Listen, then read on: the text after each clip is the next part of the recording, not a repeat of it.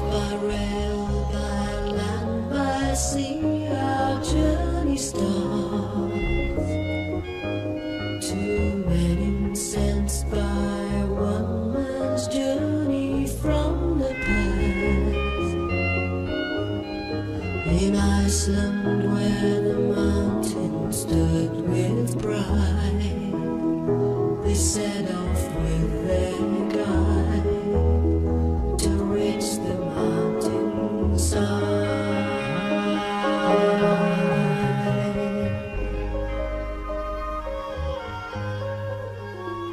Hope just one for safety through the long descent